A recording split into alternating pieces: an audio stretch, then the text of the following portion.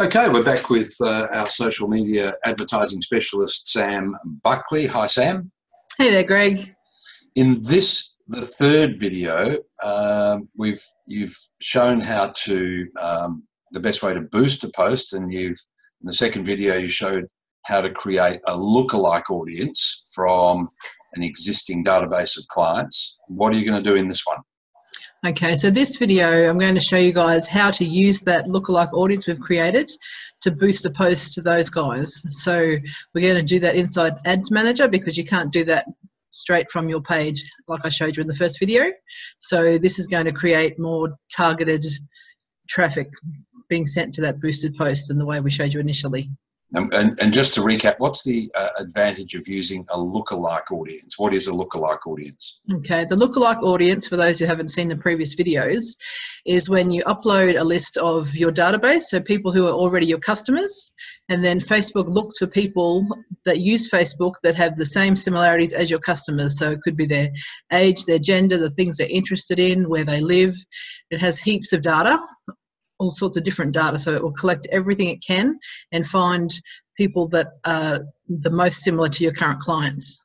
So within, within a certain a geographical area, for example.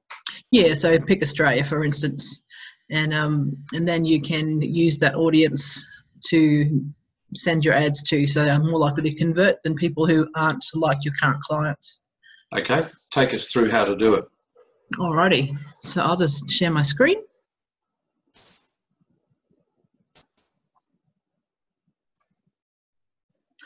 Okay, for this example that we're doing today, we're just going to use a post on Worldwide Salon Marketing's Facebook page. So it's not going to look exactly like any of your posts because um, Greg's not a salon owner. So we're going to use this one here. So I'm going to go into Ads Manager.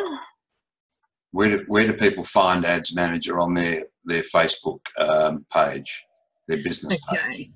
Now, my Facebook has done something weird with mine, so I actually can't sort of show you exactly um, because mine doesn't work, unfortunately. But um, it's somehow disconnected my personal ad account from my Facebook page, and it can't give me a new one. So, but basically, if you go to your personal page, it's on the left-hand side somewhere, isn't it?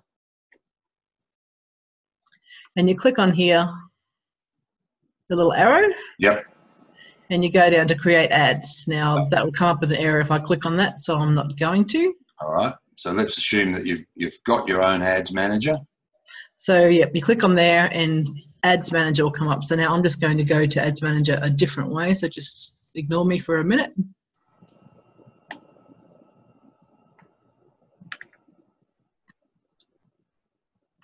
Okay, and we're in. So what we need to do, it's a three-step process in Ads Manager. Um, so basically there's a campaign level, an ad set level, and the ads level. So the campaign level is where you decide whether you want to optimize for conversions or for clicks, um, and what your basically what your um, what you want the result to be for your ads. And then the next one is your ad set level. And on, so you'll see the three tabs across here. The ad set level is where you enter the details about your how much money you want to spend on your ad and what your targeting options are. So that's where we'll upload that lookalike audience. We'll use a lookalike audience in there. Okay. And then the ad, the ad level, the third one, that's where you create your ad. Okay, so let's go through the process. Yep, so we'll go step one. So create campaign. And so there's just a button right here.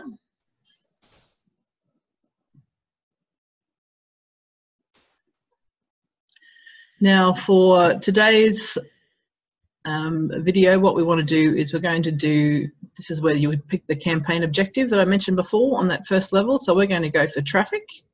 Which means traffic to a website. Yes. Okay. So there's a, a bunch of different options here, but the main ones you would use would be conversions or traffic generally. Um, engagement if you want more people to engage on your particular Facebook post.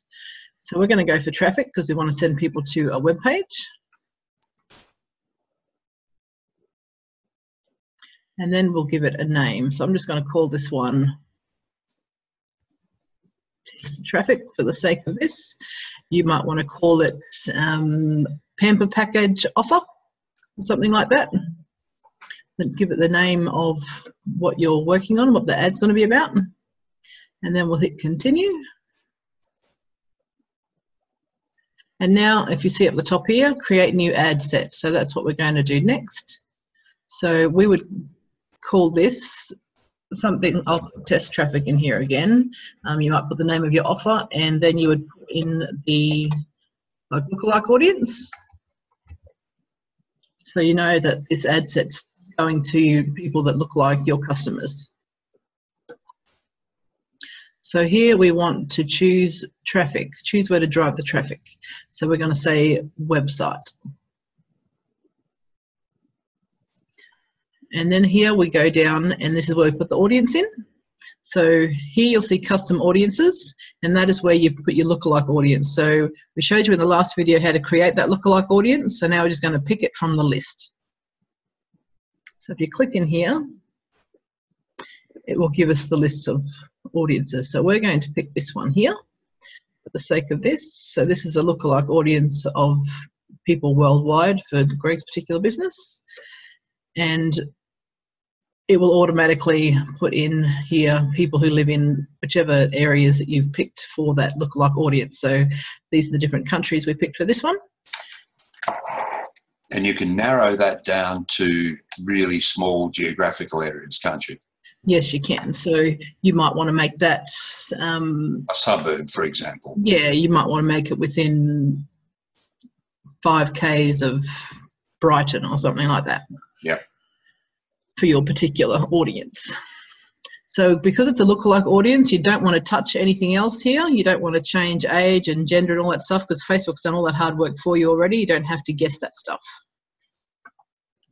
So we won't touch the age or the gender or the languages. We won't put any detailed targeting in here.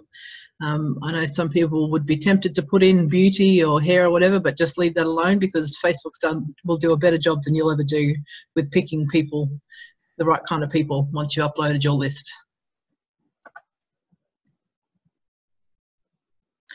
And the next part in here is your placement. So what I recommend is to start off until you get an ad that is converting for you, I would only use the Facebook feed. So anything else that's listed in the, all these other platforms, I would just turn them all off. Just tick the one you want. That's right. Well, yeah, generally a lot will be ticked, so you untick everything, and you'll see here in grey there that Facebook feed is ticked, so that's the only one we want for now.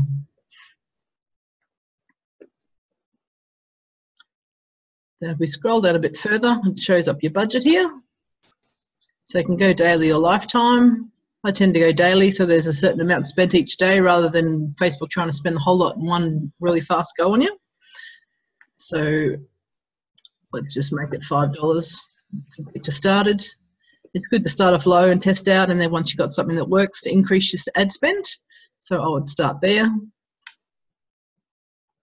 and just run ad set continually starting today, and then just turn it off when you want to turn it off down the track. So we're going to optimize for ad delivery. So we're going to pick landing page views from here because we want to send people to a landing page. Mm-hmm. And that's all we're going to touch. So then we're going to hit continue.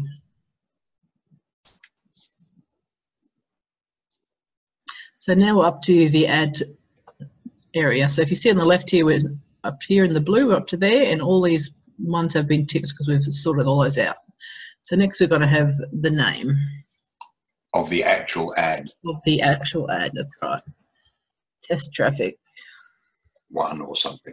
So I'll put here uh, Facebook video one.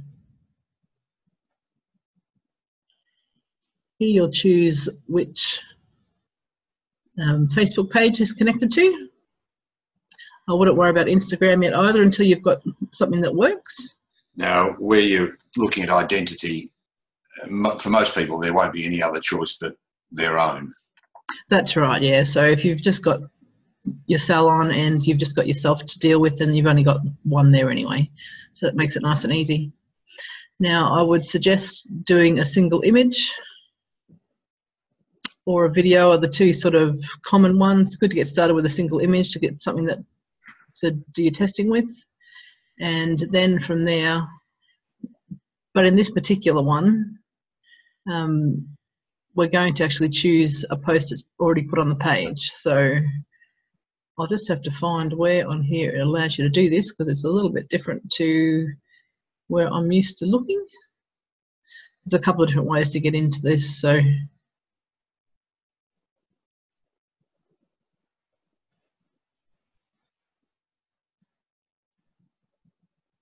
Right, let me do it from here. I, I use existing post. There it is up the top here. hmm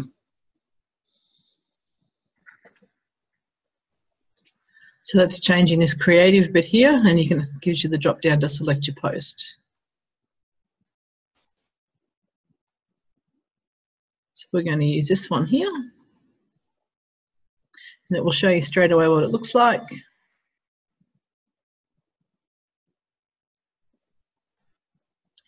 And we're done. Now this one, particular one actually, says here ads reach might be slightly lower because we've got words on image here. Facebook doesn't like words on images for advertising as such. It's fine for posts, but if you're wanting to spend money on it, it's best to have very little or none. Um, the way Facebook likes it is if you have no words at all on that image section of the ad, then it will show it to more people than if you've got some text on the image. Um, Okay. so, so even if you've got, even though you know the, there's a 20% rule where you should not have any more than 20% text on the image, um, even if you you're obeying that rule, it will still get less shows over Facebook than one without any text at all. So if you can get away without text, go for that. Um, but that's it. We've we've picked that now. So we've created the campaign. We've gone through the ad set information, so the traffic and the offer and the audience and the placements and the budget. And now we've picked which ad, uh, which post we want to put up, and that's it. We're done. So you just hit confirm, and it's done. And then Facebook will review that and say yay or nay to that ad. Yeah. So Facebook will be pending review in your list, and then um, Facebook will decide in its own sweet time when it's ready to go. If there's no dramas, it'll happen pretty quickly. Um, I've had ones that have taken a couple of hours and then they've been approved, so it can take a little bit of time sometimes. Um, but yeah, that's how that works. And I might just stop sharing the screen now, and I just want to tell you one more thing about that as well. So it's good to always be testing things in your Facebook ads.